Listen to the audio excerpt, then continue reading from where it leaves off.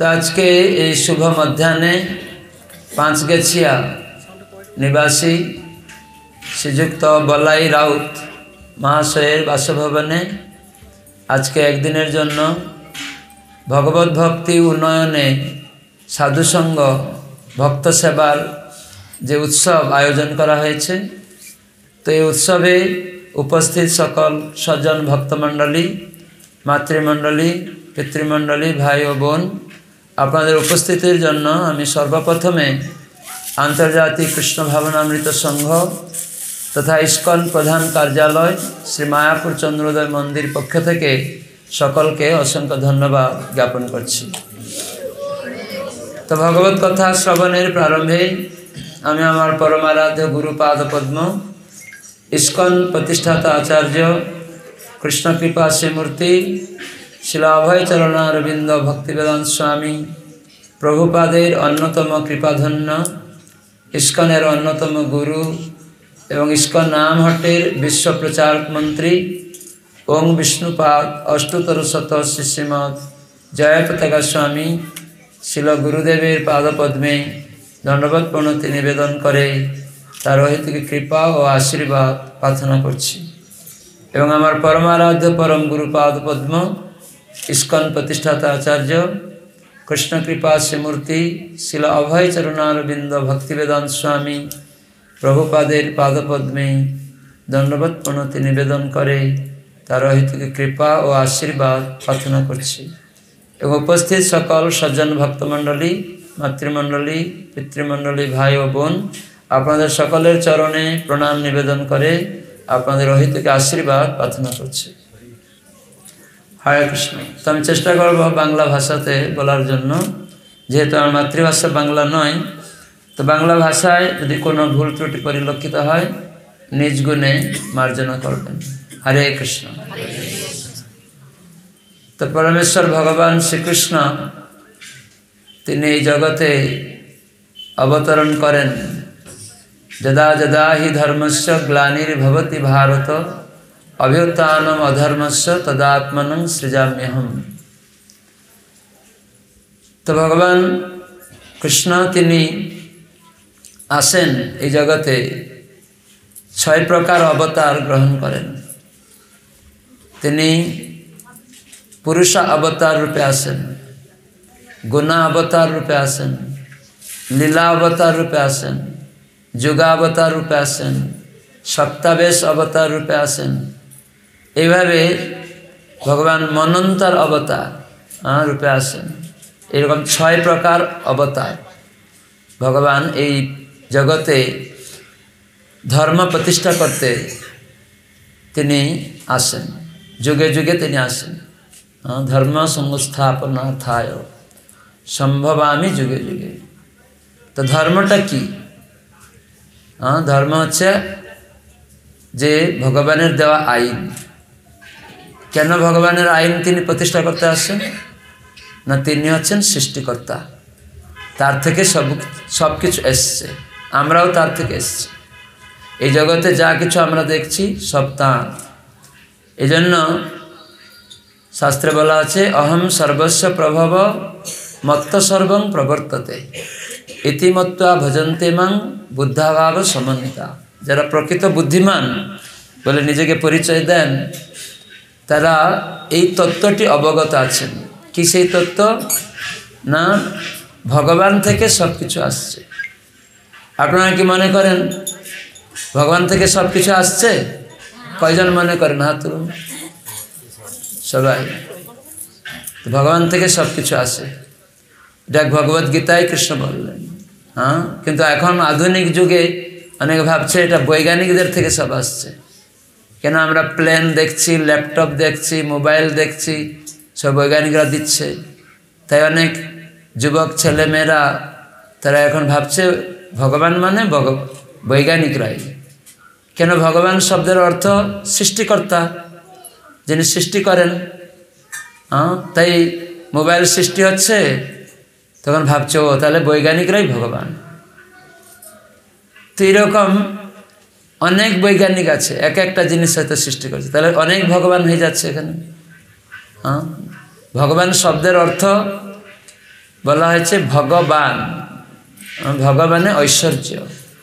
ছয় প্রকার ঐশ্বর্য রয়েছে।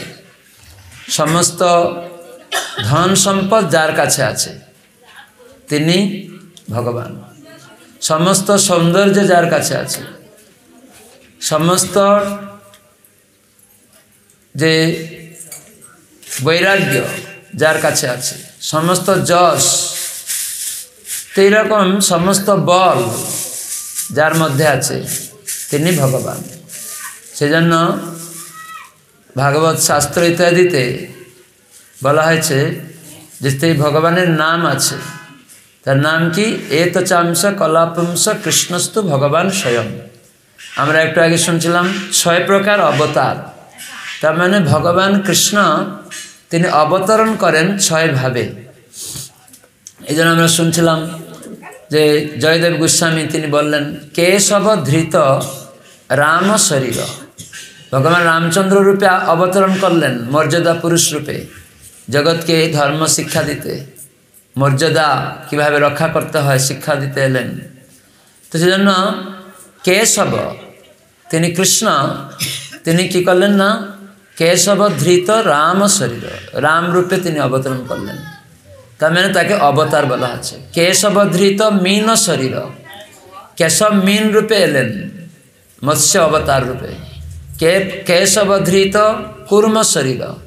কুর্ম অবতার রূপে এলেন। এগুলি হচ্ছে লীলা অবতার। হ্যাঁ ভগবান কেশব তিনি অবতরণ করছেন। তাহলে কৃষ্ণ অবতারী। এখানে বোঝানো, তাহলে যিনি অবতারী তার থেকে যেসব অবতারগণ এই ভৌম্য প্রপঞ্চে আসেন তাকে অবতার বলা হয়। তার অবতারী হচ্ছেন কৃষ্ণ একজন। হ্যাঁ স্বয়ং ভগবান হচ্ছেন একজন। এই জন্য বলা আছে এ তো চাংশ কলাপ্রংশ কৃষ্ণস্তু ভগবান স্বয়ং। হ্যাঁ, তিনি পরৎপর ভগবান। তো এই পরমেশ্বর পরাৎপর ভগবান যে কৃষ্ণ হ্যাঁ, তিনি সবসময় আসেন না। স্বয়ং ভগবান সবসময় আসেন। তো সেজন্য তিনি আসেন পুরুষ অবতার রূপে। যেমন আমরা দেখি ক্ষীরোদক্ষায় বিষ্ণু, যিনি পরমাত্মা রূপে প্রত্যেক জীবের হৃদয়ে আছেন। তাকে বলা হয় ক্ষীরোদক্ষায় বিষ্ণু। ক্ষীর সমুদ্রের সাহিত্য আছেন আর সেই কৃষ্ণ প্রত্যেক জীবের হৃদয়ে পুরুষ অবতার, তার মধ্যে ক্ষীরোদক্ষায় বিষ্ণু। তো সেই পুরুষ অবতার তিন প্রকার। একজন হচ্ছেন কারণদক্ষায় বিষ্ণু। হ্যাঁ, যিনি আসেন এই জগতে শ্বাস প্রশ্বাস তিনি গ্রহণ করেন আর ছাড়েন। তখন এই ব্রহ্মাণ্ড সৃষ্টি হয়ে যায়। আমরা একটা ব্রহ্মাণ্ডে আছি এরকম অনন্ত ব্রহ্মাণ্ড আছে। তো সেই ভগবান কৃষ্ণের একটা অবতার পুরুষ অবতার ক্ষীরদক্ষায় বিষ্ণু কারণদক্ষায় বিষ্ণু গর্ভদক্ষায় বিষ্ণু। তা প্রথম বিষ্ণু আছেন কারণদক্ষায় বিষ্ণু কারণ সমুদ্রে আছেন। তো তার শ্বাস প্রশ্বাস থেকে এই জগতে সব কিছু সৃষ্টি হচ্ছে। বুঝতে পারছেন? আর এই জগৎ সৃষ্টি হচ্ছে তার মধ্যে গর্ভদক্ষায় বিষ্ণু হ্যাঁ, তিনি আবার দ্বিতীয় পুরুষ অবতরণ করছেন এবং তার নাভি থেকে হ্যাঁ, ব্রহ্মার সৃষ্টি হয়। যে ব্রহ্মা এই ব্রহ্মাণ্ডের সব কিছু সৃষ্টি করেছেন। কি সৃষ্টি করেছেন? তিনি উপাদানগুলি নিয়ে চৌরাশি লক্ষ প্রকার দেহ তৈরি করেছেন। ব্রহ্মা। হ্যাঁ এই যে আমরা মনুষ্য দেহ চার লক্ষ রকমের আছে। কোন বৈজ্ঞানিক আছে, এরকম দেহ তৈরি করতে পারে? হ্যাঁ যেখানে রক্ত শিরা প্রশিরা সিস্টেম, মাতৃগর্ভে কেমনভাবে থাকবে, করতে পারবে? ব্রহ্মা কেবল উপাদান নিয়ে, সে উপাদানগুলি কার? কৃষ্ণ গীতায় বলেছেন, ভৌমিরাপ অন্নল বায়ু খংমন বুদ্ধিরেবচ অহংকার ইত্যং মে ভিন্না প্রকৃতির অষ্টধা। প্রকৃতি মানে শক্তি। আমরা সবাই প্রকৃতি মানি, ঈশ্বর মানি না? শক্তি শক্তিমান। কার প্রকৃতি? কার শক্তি? তো তিনি হলেন কৃষ্ণ, ভগবান। তার শক্তি। তাই জন্য কৃষ্ণ বলছেন, ময়াধ্যক্ষণ প্রকৃতি আমার অধ্যক্ষতাতেই প্রকৃতি কাজ করে। প্রকৃতি মানে শক্তি। কেন উনি শক্তিমান? তো তার শক্তি কাজ করে শক্তিমানের ইচ্ছায়। শক্তিগুলো এমনি কাজ করতে পারে না। তো সেজন্য এই প্রকৃতি আট প্রকার। মাটি, জল, আকাশ, আগুন, বায়ু, মন, বুদ্ধি, অহংকার। এগুলি কোনো বৈজ্ঞানিকের? এখানে যেসব বৈজ্ঞানিক নেকেট হয়ে আমরা এসেছি হ্যাঁ রাজনৈতিক নেতা, বৈজ্ঞানিক, আমরা যারা পিতামাতা বলছি, আমি সৃষ্টি করছি এই ছেলে। তা আপনি সৃষ্টিকর্তার কেউ নন। আপনার দেহটাও মাটি দিয়ে তৈরি, জল দিয়ে তৈরি, আকাশ থেকে নেওয়া হয়েছে অনেক কিছু। মন, বুদ্ধি, অহংকার, আটটা বস্তু, তাকে বলা হয় স্থূল, জড় বস্তু। এটা সূক্ষ্ম তিনটা আর স্থূল পাঁচটা। এইভাবে ভিন্ন প্রকৃতি মানে নিকৃষ্ট। ভগবানের নিকৃষ্ট শক্তি, তাকে বলা হয় অপরা শক্তি এই জন্য নিকৃষ্ট। কিন্তু এই দেহ তৈরি হয়ে গেল। আমরা দেখি অনেকের দেহ আছে they বলে আজ দেহ ত্যাগ হয়ে গেল। বাবার আজ দেহ ত্যাগ হয়ে গেল। বলে না, বাবা আজ দেহ ত্যাগ করলেন। তাহলে দেহকে ত্যাগ করছে কে? সেই ব্যক্তিটাকে। তো সেই ব্যক্তিকে জানতে হবে। সেই ব্যক্তি থাকার ফলে এই দেহটাতে কাজ হয় সব কিছু নাহলে এই দেহটা কৃষ্ণ বলে দিলেন জড়। মাটিটা কোনো কাজ করতে পারে না? জল, মাটি, আকাশ, এগুলো সব স্থূল, জড় পদার্থ। এগুলো চেতনময় নয়। তো এই মানুষ চেতনময় কী করে হলো? তো মানুষ দেহটা স্থূল, সূক্ষ্ম দুটি পদার্থ দিয়ে তৈরি আছে। তার মধ্যে আরও সূক্ষ্মাতি সূক্ষ্ম। ভগবান বলছেন, আমার পরাশক্তি পরা প্রকৃতি সেই উৎকৃষ্ট শক্তি হচ্ছে জীবভূতা, সজীব। সজীব বস্তু যখন এই দেহেতে প্রবেশ করছে, তো সেটা হচ্ছে আত্মা। সেই জন্য জীব আত্মা বলা হয়।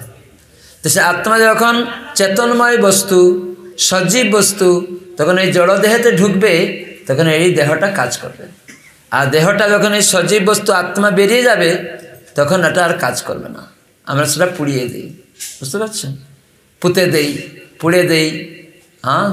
আর আমরা যতদিন সবাই বলি বাবা, মা, ভাই, স্ত্রী স্বামী, পুত্র, কত কিছু পরিচয় দেই, কিন্তু এগুলি আসলে মিথ্যা পরিচয়।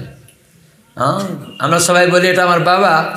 দুদিন পরে বাবা দেহত্যাগ হয়ে গেলে তখন বলি, বাবা চলে গেলেন। কিন্তু বাবা শুয়ে আছে খাটে।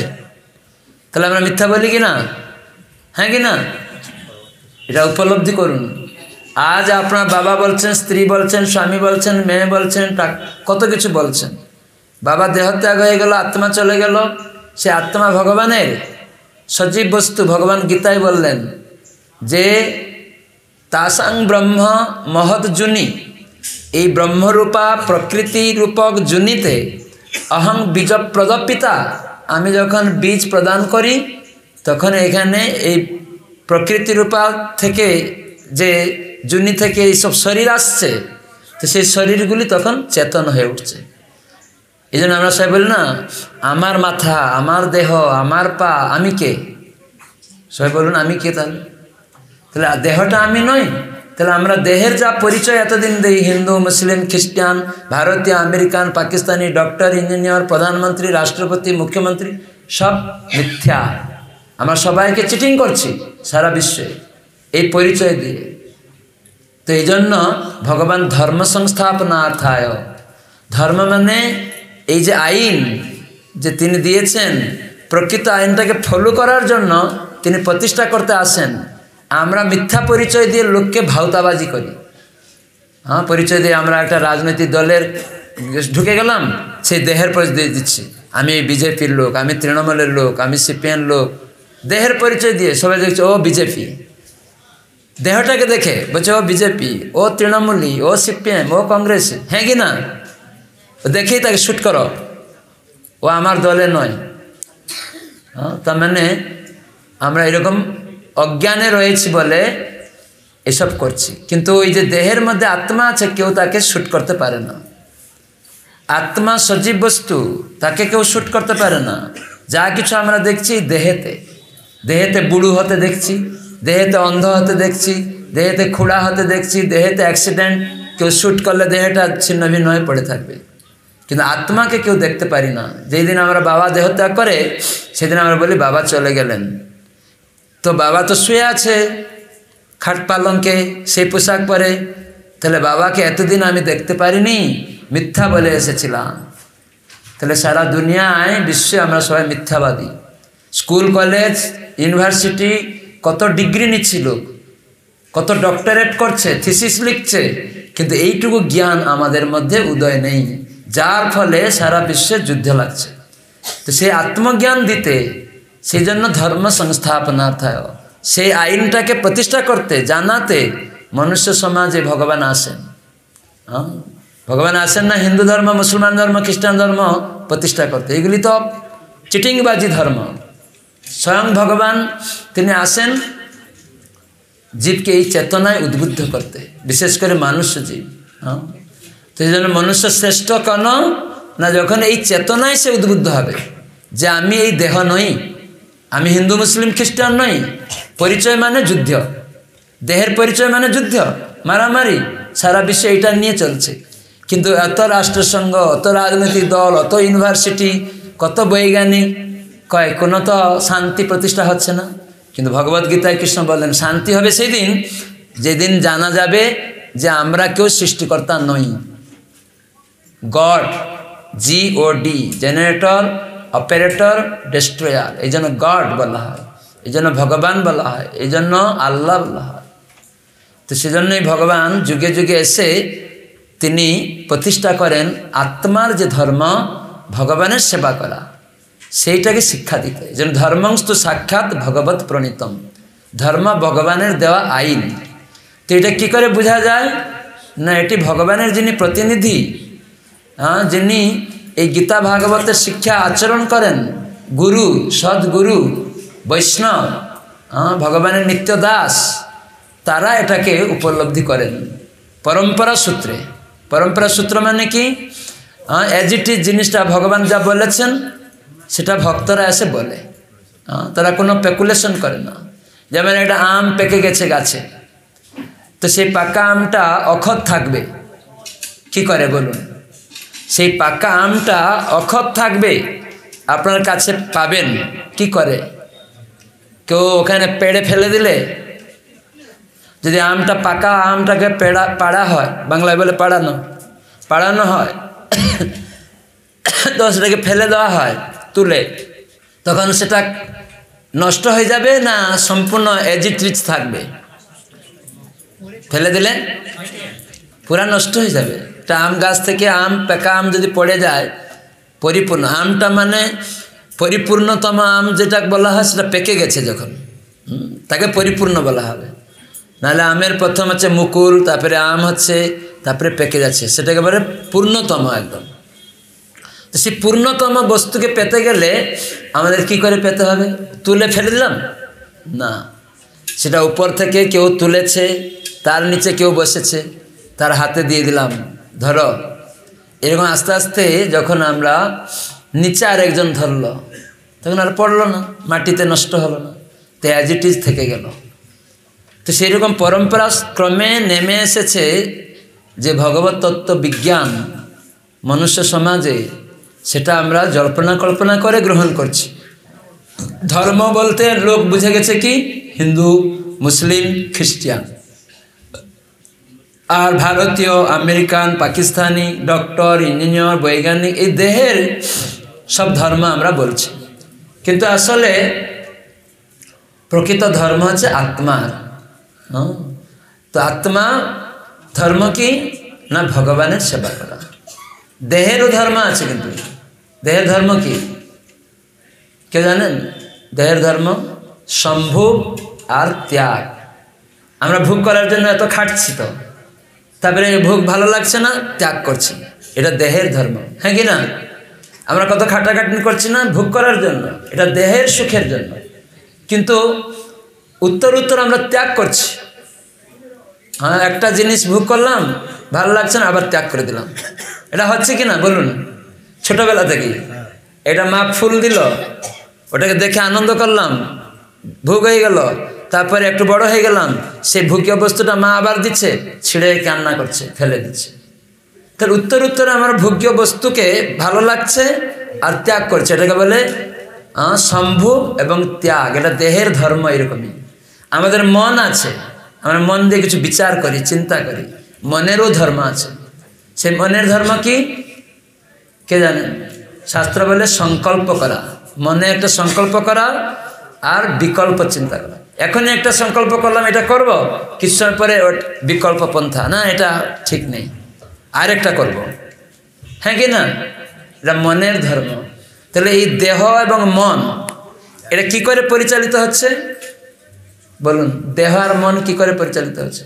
আমি মনে যে চিন্তা করছি, কীভাবে? এই দেহে যে আমি কথা বলছি, কীভাবে?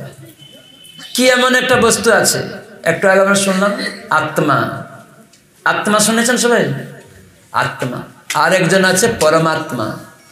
এই দেহেতে দুটি আত্মা আছে। আত্মা, পরমাত্মা। তো আত্মা আছে ভগবান, জীব। আত্মা হচ্ছে জীব, পরমাত্মা হচ্ছেন ভগবান। বুঝা গেল? পরমাত্মা আছে কে? ভগবান।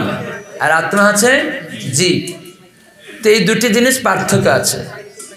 তো পরমাত্মা কি করেন? হ্যাঁ তিনি সব জায়গাতে বিদ্যমান। আর আত্মা বিশেষ একটি স্থানে বিদ্যমান। এ হচ্ছে পার্থক্য। আমি এবং ভগবানের মধ্যে কি পার্থক্য নির্ণয় করুন? যেমন শাস্ত্র বলা ক্ষেত্র, ক্ষেত্রজ্ঞ। দুইজন ক্ষেত্রজ্ঞ আছে। ক্ষেত্রজ্ঞ মানে যিনি জমি সম্বন্ধে জানেন। ক্ষেত্র আর ক্ষেত্রজ্ঞ। ক্ষেত্র মানে কি? জমি। জমি জানেন? সবাই জমি আছে আপনাদের? হ্যাঁ? ক্ষেত্র মানে কি? জমি। ক্ষেত্রজ্ঞ মানে কি? যিনি এই জমিটাকে জানেন। তো আপনাদের জমিতে কয়জন জানে বলুন? আপনার জমিটাকে কয়জন জানেন আপনি জানেন আর কে জানে? সরকার জানে। হ্যাঁ কি না? আপনি জানেন আর সরকার জানে। তো সেজন্য ক্ষেত্রজ্ঞ দুইজন। এসব গীতাতে ভগবান বর্ণনা করছেন। তিনি এসে আমাদেরকে শিক্ষা দিচ্ছেন যে আমরা কীভাবে মিথ্যা অহংকারে এই জমিটা আমার বলে দাবি করে যুদ্ধ করছি। তো সেখানে জানার জন্য এসব সুন্দর সিদ্ধান্ত হ্যাঁ, বোঝানো হয়েছে। বাস্তব জিনিসগুলি প্র্যাকটিক্যাল জিনিসগুলি রয়েছে। তো সেজন্য ক্ষেত্র ক্ষেত্রজ্ঞ ক্ষেত্র মানে জমি অতএব এই দেহটা একটা জমি স্বরূপ ক্ষেত্র। আর এই জমিনকে দুইজন জানে এই দেহটাকে দুইজন জানে আত্মা পরমাত্মা। আত্মা জীব আমি পরমাত্মা ভগবান। যিনি সৃষ্টিকর্তা সব কিছু করেছেন, যার থেকে সব কিছু এসেছে। তো সেজন্য আপনাদের জমি মানে আপনার দেহ সম্বন্ধে আপনি একা জানেন, আর কেউ জানেন আপনার দেহেতে কি হচ্ছে না হচ্ছে আপনি জানেন, আর কেউ জানে না। অন্য দেহেতে কী হচ্ছে জানেন না। কিন্তু পরমাত্মা, তিনি আপনার দেহ কেন? সকল দেহ সম্বন্ধে জানেন। যেমন আপনার একটা জমি আছে, আপনি জানেন। আর এখানে গ্রামবাসী কেউ জানে? জানে না। সরকার জানে, কাগজ কলমে খাতায়, তোমার জমিটা ওইখানে না? ম্যাপ দেখে বলে দিল। ওখানে তোমার ডিসপুট আছে। হ্যাঁ বলে দিচ্ছে না? সরকার একদম এক জায়গায় বসেই। ঠিক ভগবান হচ্ছেন পরম সরকার। আমাদের কি হচ্ছে না হচ্ছে তিনি এক জায়গায় বসেই সব দেখছেন। আমরা বুঝতে না পারলেও আমিও তো আমার জমিটা নিয়ে অহংকার করি। কিন্তু ভগবান সব দেখছেন। হ্যাঁ আমাদের এই জমিতে কত ভুল আছে। হ্যাঁ ভুল আছে না? যখন তখন এই জমিটা নষ্ট হয়ে যায়। হয় না জমি? যখন তখন নষ্ট হয়ে যায় না? এই দেহরূপ ক্ষেত্রটাও এরকম নষ্ট হয়ে যাবে। কখনো কখনো আপনার জমি আছে, নষ্ট হয়ে যাবে। বলে এটা রাস্তা হবে এখন। আপনার জমি আর থাকবে না। এখানে আপনি চাষ করছিলেন, না না, এখানে পুকুর করা হবে। এখানে টেলিফোন দেওয়া হবে। যখন তখন জমিটা আপনার নষ্ট হয়ে যাচ্ছে। আপনার থেকে নিয়ে নেওয়া হচ্ছে। নিয়ে আছে হচ্ছে কি না এখন আপনার জমি আছে, আত্মা বেরিয়ে যাবে। যে জমিটাকে আপনি আমার বলেছিলেন, আত্মা বেরিয়ে যাবে, ওই জমিটা ওইখানে পড়ে থাকবে। আর সেটা মাটিতে মিশে যাবে। আগুন থেকে এসেছিল, আগুনে চলে যাবে। জল থেকে যেটা এসেছিল, জলে চলে যাবে। তো এই সব তত্ত্ব গুরু পরম্পরা সূত্রে আমরা উপলব্ধি করতে পারি। তাই ভগবান আসেন, কখনো কখনো তার শুদ্ধ ভক্তদের পাঠান। এবার শুদ্ধ ভক্তরা এসে তারা সারা দেশে, সারা জগতে ভগবানের সেই কথাটাকে পুনরাবৃত্তিকরণ করেন। তারা নিজের মতো বলে, না না, সব আমার। বৈষ্ণবের এসে বলে, না, এগুলো সব আমার, তোমরা সব আমার। হ্যাঁ আমি গুরু, আর আমাকে সব কিছু দাও। হ্যাঁ আমার সেবাই লাগাও সব। গুরু সেবাই লাগাতে হয়, কিন্তু গুরু এরকম বলবে না। গুরু কি সেবা করবে? বলবে, না, সব ভগবানের তোমরা ভগবানের সেবায় লাগাও। হ্যাঁ? আর গুরুদেব আসলে গুরুদেবকে আমরা সেবা করছি। কিন্তু গুরুদেবকে সেবা করছি মানে আমরা তাকে বসতে দিচ্ছি ভোগ লাগিয়ে প্রসাদ দিচ্ছি। তিনি এসে কি খান? প্রসাদ খান। হ্যাঁ? আমাদেরকে দায়িত্ব দিয়েছেন যে তোমরা রান্না করবে, সেটা ভোগ নিবেদন করবে। নিবেদন করে ভগবানকে দেওয়ার পর সে প্রসাদ আমাকে দেবে। এরকম নয় গুরুদেব বলো না না, আমি সব, আমি ভগবান। হ্যাঁ? এরকম করে অনেক জগতে ধর্মের নামে প্রতারণা করা হয়। সেজন্য শিবজি শিবজি হচ্ছেন মহাজন। বারো জন মহাজন আছেন। স্বয়ম্ভু হচ্ছেন ব্রহ্মা নারদমুনি স্বয়ং নারদ শম্ভু। শম্ভু মানে কি? শিবজি। কুমার চতুর কুমার চার কুমার নাম জানেন? হ্যাঁ সনক, সনাতন সনত কুমার আর সনন্দন। তো এই চারজন চতুর কুমার, তাকে বলে কুমার। তেরা মহাজন, স্বয়ম্ভু নারদ শম্ভু কুমার কপিল দেব। এই জগতে দুইজন কপিল দেব এসছেন। অগ্নিবংশে ত্রেতয়া যুগে একজন কপিল দেব এসছিলেন। তিনি নিরীশ্বর কপিল। নিরীশ্বর মানে ঈশ্বরকে মানেন না, প্রকৃতি মানেন। প্রকৃতি মানে মাটি, জল, আকাশ, আগুন, বায়ু, এসব মানে। কিন্তু এই সৃষ্টিকর্তা, এই কার সে মানে না। এমনি এমনি হয়ে গেছে। যেমন এই বিল্ডিংটা এমনি এমনি হয়ে গেছে। যারা মূর্খ, তারা বলবে।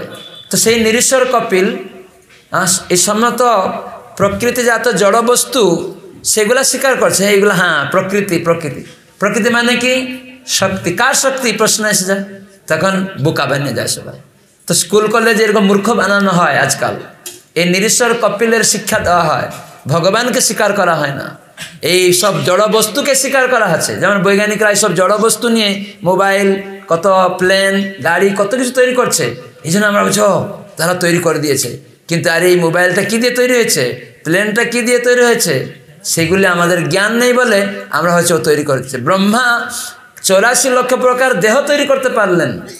কত ক্ষুদ্রাতি ক্ষুদ্র কীটাণু আছে, এগারো লক্ষের প্রকার কৃমি কীট তাকে বৈজ্ঞানিকদের যন্ত্র দ্বারাও দেখা যাবে না। এইরকম কীট কে তৈরি করছে ব্রহ্মা? ওই রকম দেহ দিতে পারে। তাহলে কত সূক্ষ্ম ব্রহ্মা তৈরি করতে পারেন? সেটা কীভাবে? ভগবান থেকে। কৃপা পেয়ে। তো সেজন্য আমরা সবাই তৈরি করতে পারি না। তো সেই প্রকৃতি যে অষ্টধা সব কিছু ভগবানের তৈরি সেই জন্য এইগুলি আমরা ভগবানের যে কৃপার ফলে বুঝতে পারি। নাহলে আমরা বুঝতে পারব না। তো সেটা শাস্ত্র থেকে নিতে হবে। নিজে নিজে গুরু, সেটি তিনি পরম্পরা সূত্রে বলবেন। তিনি নিজে নিজে বানিয়ে টানিয়ে বলবেন না কিছু। সদ্গুরু।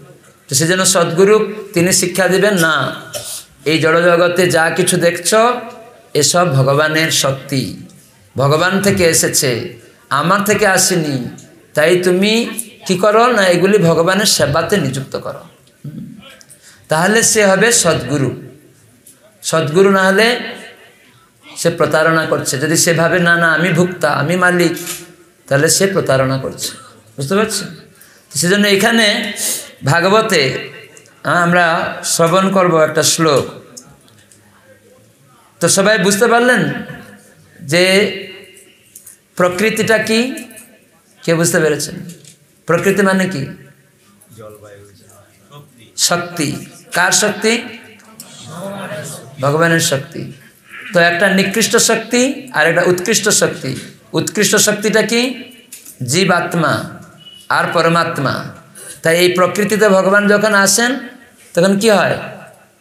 সমস্ত জগতে কিছু অলৌকিক আমরা পরিবর্তন দেখি। আর দেহেতে যখন আত্মা ঢুকে, তখন দেহেতে কিছু বাড়তে দেখি আমরা, পরিবর্তন দেখি, চেতন দেখি। তাই সেই একা ভগবান এসব করছেন। তো সেই জন্য আমরা যেন নিরীশ্বর না হয়ে যাই। সেই নিরীশ্বর কপিলের দিকে যেন আমরা না চলে যাই। ঠিক আছে? তাহলে আর একজন কপিল দেব এসেছিলেন। তিনি হচ্ছেন দেবহূতি পুত্র। হ্যাঁ কর্দম মুনির পুত্র। দেবহূতি মাতা কর্দমমুনির পুত্র রূপে কপিল দেব ভগবান। তিনি সাংখ্য দর্শন শিখাতে এলেন। আত্মজ্ঞান, দেহ এবং আত্মার বিশদ শিক্ষা দিলেন।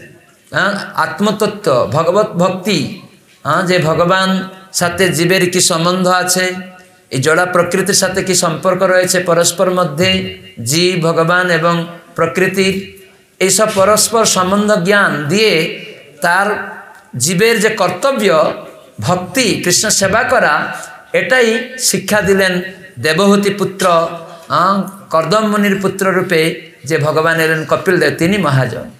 তাহলে কয়জন হলো মহাজন? স্বয়ম্ভু, নারদ, শম্ভু, কুমার, কপিল, মনু।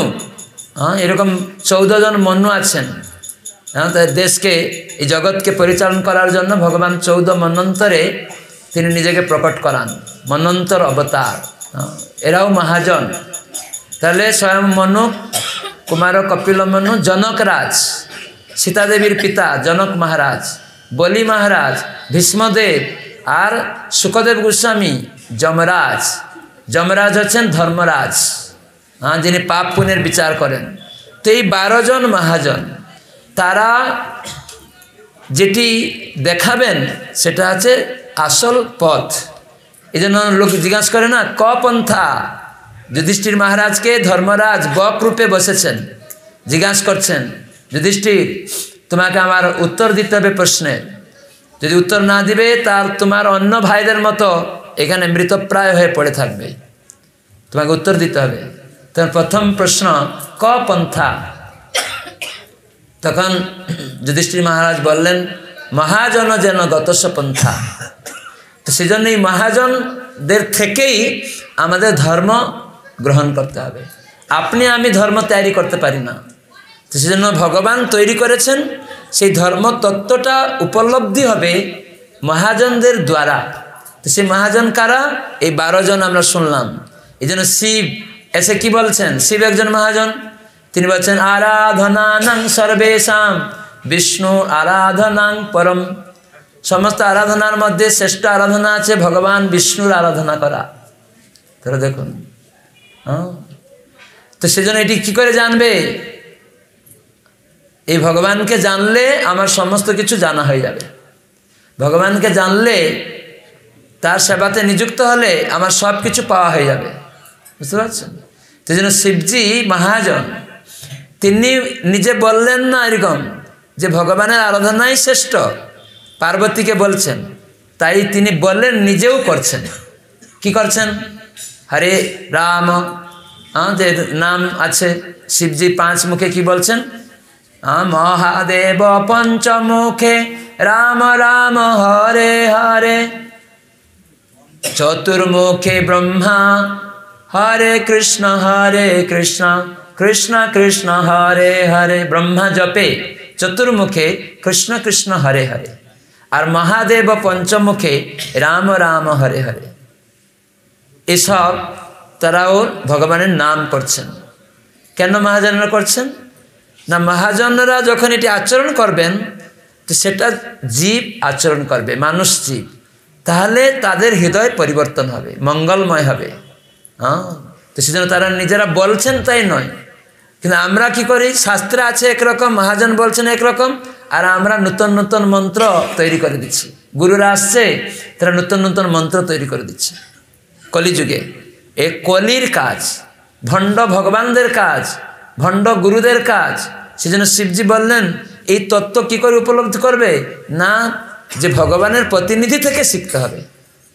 এই জন্য যুধিষ্ঠির মা বলেন মহাজন থেকে ধর্মতত্ত্ব নিতে হবে। তো সেজন্য শিবজি বলছেন হরিনাম করতে।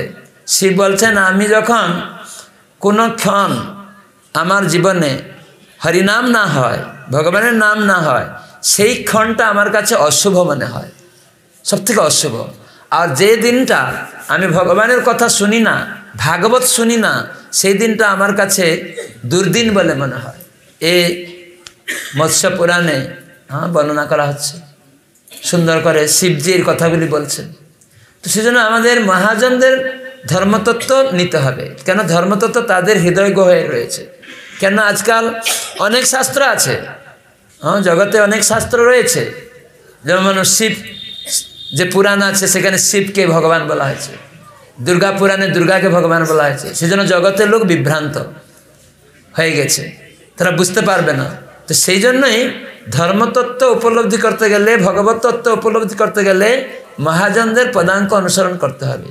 তাই জীবের স্বরূপ কৃষ্ণের নিত্য দাস, জীব ভগবানের দাস, এটাকে বুঝতে হবে। সেটা সদ্গুরু থেকে বুঝতে হবে। তো সদ্গুরুকে শিবজি বলছেন। গুরবু বহবসন্তী শিষ্য বিত্ত অপহারকা, সদ্গুরুর দুর্লভং দেবী শিষ্য সন্তাপহারকা। যিনি শিষ্যের সন্তাপ মানে দুঃখকে মোচন করেন। কি দুঃখ? জন্ম, মৃত্যু, জরা, ব্যাধি। এই যে বারংবার আমরা গ্রহণ করছি, এবং আদি ভৌতিক, আদি দৈবিক, আদি আত্মিক এই ত্রিতাপ দুঃখ। যে আমরা জর্জরিত হচ্ছে, এই জড়জগতে আমাদের বারবার জন্ম মৃত্যু চক্র হচ্ছে। কবু স্বর্গে, কবু মর্তে, কবু কীট, কবু ক্ষুদ্র, কবু রাজা, কবু প্রজা, কবু সুখী, কবু দুঃখী। এইরকম চৌরাশি লক্ষ দেহেতে যে বারংবার জন্মগ্রহণ, এটা আমাদের জীবনের সব থেকে দুঃখ। হ্যাঁ কি না? জন্মটা দুঃখ না? মায়ের গর্ভে এয়ার টাইট ব্যাগ ভাগবত তৃতীয় স্কন্ধে বলা আছে, সেখানে হাওয়া ঢুকবে না, আলো বাতাস নেই, কৃমি কীট, মল, মূত্রর মধ্যে একটা ছোট্ট ব্যাগের মধ্যে মায়েরা পেঁয়াজ, রসুন খাচ্ছে, মাছ, মাংস খাচ্ছে, লবণ খাচ্ছে, লঙ্কা খাচ্ছে এই সব জিনিস তার মধ্যে ঢুকছে। আর তখন বাচ্চার নরম শরীর যন্ত্রণাদায়ক, কষ্ট পাচ্ছে, জ্বালা করছে। এমনি একটু লঙ্কার চামড়ায় লেগে গেলে জ্বালা করে। আর সেই শরীরটা কত নরম, তাহলে এটাকে আনন্দময়? সেজন্য গুরুর কাজ হচ্ছে আমাদেরকে দিব্য জ্ঞান দিবে। গুরু মানে তিনি দীক্ষা দিবেন। কি দীক্ষা দিবেন? হ্যাঁ দিব্য জ্ঞান দীক্ষা শব্দের অর্থ দিব্য জ্ঞান এই জন্য গৌরাঙ্গ মহাপ্রভু রূপে কৃষ্ণ এলেন আচরণ করে শিখাতে। এই জন্য অর্জুন, তিনি কৃষ্ণকে গুরুরূপে বরণ করেছিলেন। অর্জুন বিমূঢ় হয়ে গেছিলেন। কর্তব্য কর্ম থেকে সরে যাচ্ছিলেন। ধর্ম সংকটে পড়ে গেছিলেন। তাই যখন কৃষ্ণকে তিনি গুরুরূপে বরণ করলেন, বললেন, আমি শিষ্য, আমাকে শাসন করো, আমি শরণাগত হলাম। তখন ভগবান কৃষ্ণ তাকে শিক্ষা দিলেন যে এই দেহটা অনিত্য। এই দেহটা কি দিয়ে তৈরি হয়েছে? সব শিখালেন ভগবদ্গীতায় দ্বিতীয় অধ্যায়ে। অর্জুন মোহিত হয়ে কর্তব্য কর্ম কর্ম থেকে বিমূঢ় হয়ে হতাশায় বসে পড়েছেন। তাই বিষাদগ্রস্ত প্রথম অধ্যায় ভগবদ্গীতা তারপরে সাংখ্য যোগ ভগবান শিখালেন দ্বিতীয় অধ্যায়ে। সম্যক রূপে আত্মদর্শন, সাংখ্য দর্শন। মানে বিশদভাবে এই দেহ এবং আত্মা সম্বন্ধে ভগবান জানালেন অর্জুনকে। তখন অর্জুন দেখলেন ও এই দেহটা আলাদা, আত্মা আলাদা। দেহের কোনো মৃত্যু হয়, আত্মার মৃত্যু হয় না। ন হন্যতে হন্য মানে শরীরে। আত্মাকে কেউ পোড়াতে পারে না, কাটাতে পারে না। অর্জুন সব বিমোহিত হয়ে গেছিলেন। তো অর্জুন যখন শরণাগত হয়েছিলেন, তাই বুঝতে পেরেছিলেন। তাই আমরা যখন সদ্গুরুর আশ্রয়ে যাব, গুরু গু শব্দের অর্থ হচ্ছে অন্ধকার, রু শব্দের অর্থ হচ্ছে নিরোধক। যিনি অন্ধকার, নিরোধক। তার মানে আমরা দেহাত্ম বুদ্ধিতে আছি মানে অন্ধকারে আছি। হ্যাঁ কি না? আমরা একটু আগে শুনলাম, দেহটা আমরা যে বলেছিলাম, মিথ্যা বলেছিলাম, তাহলে আমরা অন্ধকারে আছি বলে দেহ সম্বন্ধে আমরা মিথ্যা বলেছি। এটা আমার বাবা, এটা আমার স্ত্রী, এটা আমার ছেলে, এটা আমার দেশ।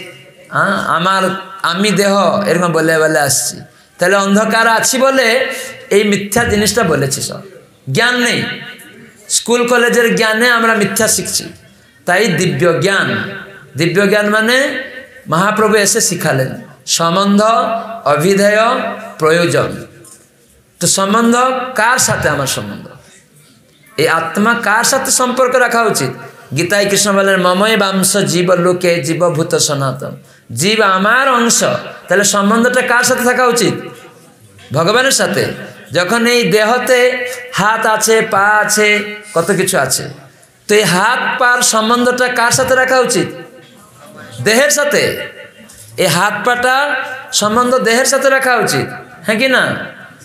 তাহলে আপনি দেহ থেকে হাত বেরিয়ে গেলে কি হবে? আপনি যদি দেহটা থেকে হাতটাকে আলাদা করে দিবেন, কি হবে? সুখী হবেন? আমরা সেরকম হতে চাইছি। আমরা ভগবানের অংশ। আমরা এই দেহে যেমন হাত পা আছে, আমরা তার এই হাতগুলি দেহের অংশ, ঠিক সেরকম ভগবানের অংশ আমার এই দেহটা। তাই আমি উদাহরণ দিচ্ছি আপনাদেরকে। তো এই দেহর অংশ হচ্ছে হাত পাগুলি। তো এই দেহ থেকে হাত পা যদি বলে আমি আলাদা করে ভোগ করব। তাহলে এই হাতটা সুখী হবে? এই আঙ্গুলটা বলে, না না, আমি তোমার সাথে নেই। হ্যাঁ আমি খাটবো। হাত বলে আমি খাটবো, আর আমি তোমার সেবা করব না। চোখ বলে আমি দেখি, আমি দেহের সেবা করব না। তাহলে এই সমস্ত হাত, পা, চোখ, কান, এদের কাজটা কি, দেহের সেবা করা নাকি? হ্যাঁ কি না? দেহের সেবা করা। তো এই দেহর সেবা করার মাধ্যমে তারা যদি যুক্ত না থাকে, বলে আমি যুক্ত থাকব না। হাত বলে আমি যুক্ত থাকবে না তোমার সাথে। তাহলে হাতের কি মূল্য আছে? তাই আমরা ভগবানের অংশ হয়ে ভগবান থেকে বিচ্ছিন্ন হতে চেষ্টা করছি। ভগবানের সাথে আমাদের যুক্ত থাকতে হবে। কিন্তু আমরা ভগবান থেকে যুক্ত না থেকে আলাদা ভাবছি, আমি ভগবান, তুমি ভগবান, সবাই ভগবান। এরকম আমরা বলতে শুরু করে দিয়েছি, আমি মালিক, আমি ভুক্তা, আমি স্বামী, আমি কর্তা, আমি নেতা, এসব করে আমি করছি। এই কর্তা অভিমান করে আমরা সমাজে ভগবান থেকে আলাদা হওয়ার চেষ্টা। আমি দেখছি না, আমি এইসব পরিচালনা করছি, আমি না হলে এসব হবে নাকি? তা আপনি একটা জল দিতে পারবেন? মাটি দিতে পারবেন নেকেট হয়ে সবাই এসছে, উলগ্ন হয়ে সবাই এসছে। তো সেজন্য আমার অনুরোধ এই তত্ত্বগুলি যেহেতু শুদ্ধ ভক্তরা প্রদান করেন, তাই এই জগতে শুদ্ধ বৈষ্ণবদের অভাবে আমরা দুঃখী। সবাইয়ের মধ্যে এই সম্বন্ধ জ্ঞান ভগবানকে হারিয়ে আমরা আজকাল গুরুরা কৃষ্ণের সাথে যুক্ত করাতে শিখায় না। তারা কেবল দেহের যে ইন্দ্রিয় সুখ করার শিখায়। এই জন্য শিবজি বলেন, গুরবু বহবসন্তী শিষ্য বিত্ত অপহারকা। বিত্ত মানে ধন সম্পদ অপহরণকারীর গুরুর অভাব নেই এই জগতে। কিন্তু সদ্গুরুর দুর্লভং দেবী শিষ্য সন্তাপহারকা। কেন আমি বারবার জন্ম মৃত্যু চক্রে ঘুরছি? হ্যাঁ এটা আমি জন্ম চাইছি না, মৃত্যু চাইছি না, বার্ধক্য চাইছি না, রোগ চাইছি না, এগুলি কেন হচ্ছে? আমরা ভগবানের সাথে যুক্ত না থেকে আলাদা ভোগ করার বাসনা। আর গুরু সেগুলি এসে আমাদের কাছ থেকে ধন সম্পদ অপহরণ করছে। কিন্তু আমাদের শিখাচ্ছে না না, আমরা ভগবানের দাস, তার সেবা করা উচিত। সে শিখাচ্ছে না। নতুন একটা মন্ত্র শিখিয়ে দিল, এই ভগবানের নাম টাম করতে হবে না, এসব প্রসাদ খেতে হবে না, তোমরা যা খাচ্ছ খাও। গুরু নিজে এসে মৎস্য মাংস খাচ্ছে, চা খাচ্ছে, পান, বিড়ি, সিগারেট খাচ্ছে, অবৈধ ক্রীড়া করছে, আর এই দেহের পরিবর্তন করছে। কিন্তু দেহেতে এইগুলা খাওয়ার দ্বারা ডাক্তার কাছে আমাদের বিলটা দিতে হচ্ছে। কিন্তু গুরু নিজে জানে না। তো সেজন্য তাদের বলা হয় প্রতারণা গুরু, প্রতারক, ভণ্ড। সদ্গুরু আর গুরু। সদ্গুরুকে শিষ্যের দুঃখকে মোচন করবে। কেন আমি রোগ চাইছি না? আমি বার্ধক্য হতে চাইছি না? আমি মৃত্যু চাইছি না? আমি জন্ম চাইছি না, কিন্তু এইখানে আমি দেখছি বারবার কখনো পশু পাখিতে যাচ্ছি, কখনো গাছপালা লতা গুলমতে যাচ্ছি, কখনো ধনী ঘরে, কখনো গরিব ঘরে, কখনো মহিলা, কখনো পুরুষ। কি কারণ? কেন আমি ধনী? কেন আমি মহিলা? আমরা জানি না। সেজন্য গুরুর কাজ হচ্ছে ভাগবত থেকে সেই শিক্ষাগুলি নিজে আচরণ করে শিখাবে শিষ্যকে। বলে দেখো, তুমি মহিলার প্রতি আসক্ত হচ্ছ, পুরুষ হয়ে তার ইন্দ্র সুখের প্রতি আসক্ত হচ্ছ? কেবল পুত্রকন্যা উৎপন্ন করো। গীতায় কৃষ্ণ এটি বলেছেন, সেটা ধর্ম। পুত্রার্থে ক্রিয়তে ভার্যা। এরকম নয়, তুমি অবৈধ ক্রীড়া করবে, মিশবে সবসময়। বা ছেলে মেয়ে বিবাহ হয়নি, মেলামেশা করবে, এগুলি ঠিক নেই। গুরুদেব এইসব শিখাবে। কেন? না, এটি অধর্ম, পাপ হবে। তাই তুমি যখন মহিলার চিন্তাতে আসক্ত হয়ে যাবে ইন্দ্র সুখে, পরবর্তী দেহ পুরুষ হয়ে তুমি পরে একটা মেয়ে হয়ে জন্মাবে। কি মেয়ে? পাইরি পাইরি, ভাগবত শাস্ত্র বলছে। বানরি হ্যাঁ যারা এরকম আসক্ত হয়ে যাবে, যে কোনো বস্তুতে আমরা আসক্ত হব। সেই রকম ভগবান তার পরবর্তী দেহ প্রকৃতির নিয়মে প্রদান করবে। এটাকে বলে কর্ম না ওই কপিল দেব ভগবান সব শিখাচ্ছেন, তার মাকে শিষ্যরূপে গ্রহণ করেছেন। মা শিষ্য হয়ে গেছেন, আর কপিল কপিলদের ছেলে গুরুরূপে তিনি শিক্ষা দিচ্ছেন। কী শিক্ষা দিচ্ছেন? এইসব তত্ত্ব। ভাগবত পড়বেন, তৃতীয় স্কন্ধে এইসব তত্ত্ব কপিল শিক্ষামৃত আছে। কীভাবে সুন্দর শিক্ষা দিচ্ছেন? যে যেরকম আসক্তি হবে, গীতাতে কৃষ্ণ বলেন, জং জং বাপি স্মরণ ভাবন তেজন্তে অন্তে কলে বরম। তুমি যেরকম চিন্তা করে দেহত্যাগ করবে, পরে সেরকম দেহ হবে। হ্যাঁ সেই জন্য আমরা হয়তো কোনো মেয়ের প্রতি আসক্ত হয়ে পড়লাম, স্ত্রীর প্রতি আসক্ত হয়ে পড়লাম। বা কোনো খাবার প্রতি আসক্ত হয়ে পড়লাম, কোনো কথার প্রতি আসক্ত হয়ে পড়লাম মৃত্যুর সময় ওই সবগুলি আসবে। যেমন সারাদিন কাজ করতে করতে মনে ওইগুলি উদয় হয়, শুয়ে গেলে, বিলবিলায় হ্যাঁ কি না? ঠিক মৃত্যুটার সময় যদি এই রকম চিন্তাধারা আসে, তাহলে কৃষ্ণ গীতায় বললেন জং জং বাপি স্মরণ ভাবম তজন্তন্তে কলেবরং তং তময় বৈতি কমতেয় অসদা তদ্ভাব ভাবিত। তুমি যেরকম চিন্তা করে দেহত্যাগ করবে, পরে দেহটা এরকম। তাই এখানে এত বৈচিত্র্যর কারণ এটা। কেউ মহিলা, কেউ পুরুষ, কেউ ধনী, কেউ গরিব, কেউ শিক্ষিত, কেউ অশিক্ষিত, কেউ দেখতে সুন্দর, কেউ অসুন্দর, পশু, পাখি, কীট, পতঙ্গ, চৌরাশি লক্ষ দেহ। জীব, আত্মা কেন? কর্মনা দৈব নেত্রেণ, জন্তুর দেহ উপপতয়ে আর ওটা উদাহরণ দিলে বুঝতে পারবেন। আত্মা শুদ্ধ, এ দেহের মধ্যে আছে হ্যাঁ ভগবানের বিভিন্ন অংশ। এ কেন এরকম বিভিন্ন দেহ পেল? আমরা শোনা, কর্ম না। কর্ম অনুসারে। গীতায় কৃষ্ণ বলছেন, কারণ গুণসংঘর্ষ সদ অসৎ জুনি জন্মসু। কারণ হচ্ছে, এই জড়জগতে তিনটা গুণ আছে, সত্যগুণ, রজগুণ, তমগুণ। যখন আত্মা ভগবানের বিভিন্ন অংশ, সেটা ভগবানের মতোই পবিত্র। সচ্চিদানন্দময়, সে আনন্দ চায়। কিন্তু এই জড়া প্রকৃতিতে এসে আত্মা এই তিনটি গুণের সঙ্গ করে। তখন এই বিভিন্ন দেহ, কখনো পশু পাখি কখনো কীটপতঙ্গ, কখনো মনুষ্য, এরকম দেহতে চলে যাচ্ছে। তো সেজন্য এই আত্মা, এই মনুষ্য দেহেতে কোন সঙ্গ করা উচিত, উপলব্ধি করতে হবে। এই জন্য সদ্গুরু তিনি এই ভগবানের এই শিক্ষাকে, গীতা শিক্ষাকে তিনি শিখাবেন। কোন সঙ্গ করবে? প্রভুপাদ উদাহরণ দিয়েছেন যেমন বায়ু, বায়ুটা পবিত্র, শুদ্ধ। যখন চাঁপা ফুলের বাগান দিয়ে যাবে, কি গন্ধ হবে? সব কি গন্ধ হবে? চাম্পা ফুলের গন্ধ আসবে। সেই চাম্পা ফুলের গন্ধ বহন করে নিয়ে যাচ্ছে বায়ু। ড্রেনের পাশ দিয়ে যাচ্ছে, কি গন্ধ আসবে? তাহলে কার দোষ? বায়ুর? কিসের দোষ? ওই জায়গার দোষ। হ্যাঁ সেই পরিবেশের দোষ। ঠিক সেরকম আত্মা ভগবানের শুদ্ধ বিভিন্ন অংশ। সে যখন এই জড়া প্রকৃতির তিনটি গুণের সঙ্গ করছে ঘুরে বেড়াচ্ছে তখন তার এরকম সৎ, অসৎ জুনি জন্মসু। কিন্তু এখন আমাকে তাহলে ভালো সঙ্গ করতে হবে। তো এই জন্য সদ্গুরু ভগবান নিজে গুরুরূপ ধারণ করে আসেন। হ্যাঁ ভগবানের করুণার মূর্ত বিগ্রহ তিনি দেখেন জীব এইভাবে কষ্ট পাচ্ছে, তাকে আমাকে উদ্ধার করতে হবে। তাই ভগবান তার প্রিয় ভক্তকে, শুদ্ধ ভক্তকে পাঠিয়ে দেন শক্তি অর্পণ করে। কি? সেবক ভগবান রূপে। ভগবানের সেবা কেমন করে করতে হবে? তাই গুরু ভগবান, কি ভগবান? সেবক ভগবান। ভগবানের প্রিয় প্রতিনিধি, তিনি আসেন আমাদেরকে শিখাতে, বুঝাতে। হ্যাঁ যে ভগবানের, তাই তিনি নিজে সেবা করেন। এরকম নয়, ভগবান যা করেন না হ্যাঁ আর সেখানে গুরুদেব সেসব খারাপ কাজ করছে। ভগবান কি মাছ, মাংস খায়? আজকাল গুরুরা মাছ, মাংস খায়। নেশা করে। সিগারেটে লেখা আছে স্মোকিং ইজ টু হেল্প গুরু সেটা খাচ্ছে। আর শিষ্য খাচ্ছে। স্বাস্থ্য ক্ষতি হবে। তাহলে গুরু, সে কি করে একটা কাণ্ডজ্ঞান নেই? কাণ্ডজ্ঞান? সিগারেট লেখা আছে, ধূমপান স্বাস্থ্য পক্ষে ক্ষতিকর।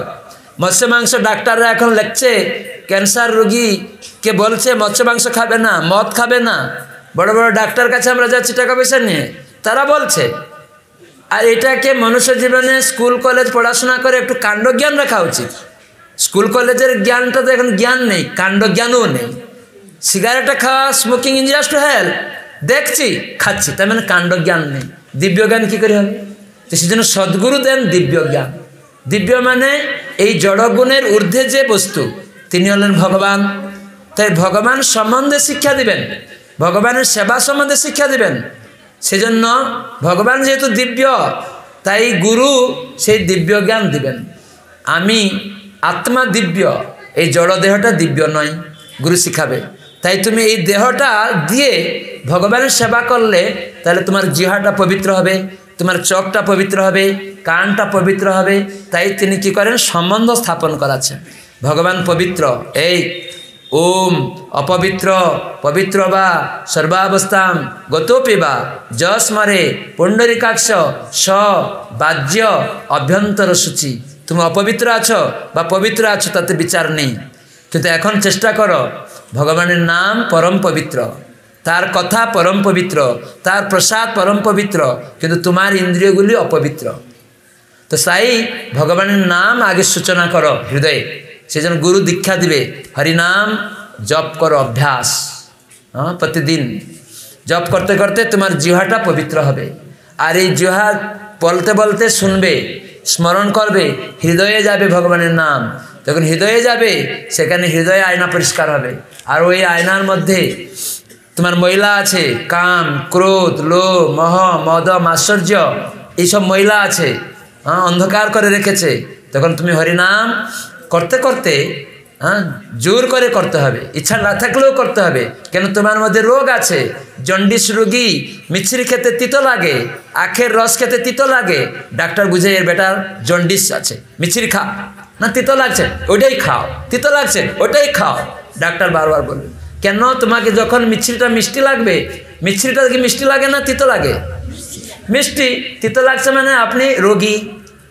তো হরিনাম, ভগবানের নাম, আমরা শুনলাম গীতাতে ভগবানের অংশ আমরা, তাহলে ভগবানকে বা, কথা শুনলেই আমাদের চিড়িয়ে যাচ্ছি, রাগ লাগছে।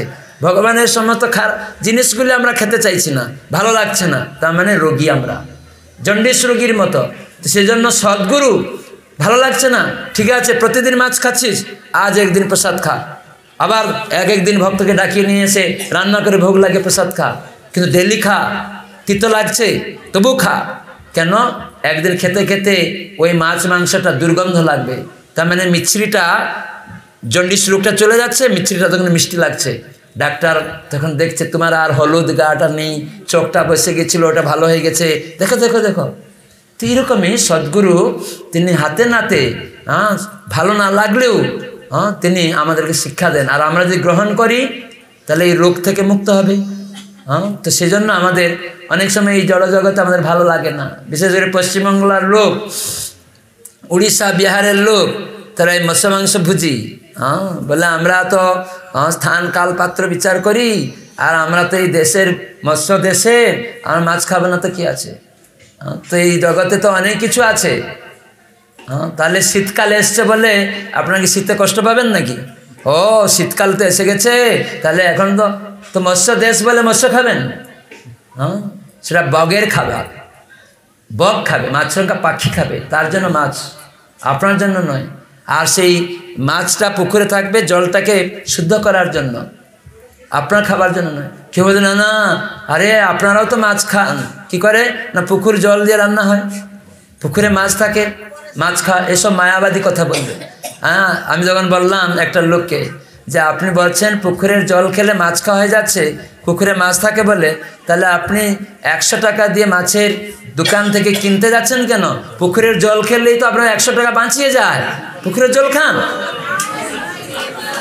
তখন লোকটা অবাক হয়ে গেছে। তো আমরা কত মূর্খ? হ্যাঁ আমরা জানি না। হ্যাঁ এইরকম লোক অনেক সময় আমাদেরকে প্রতারণা করে। এটা মায়াবাদী ভাষ্য। মাছ খাওয়ার জল খাওয়া এক নয়। মহাপ্রভু নিমাই পণ্ডিত, ছোট্ট, তখন নিমাই, বাচ্চা শিশু। তো এক সময় তিনি খেলাধুলা করছেন।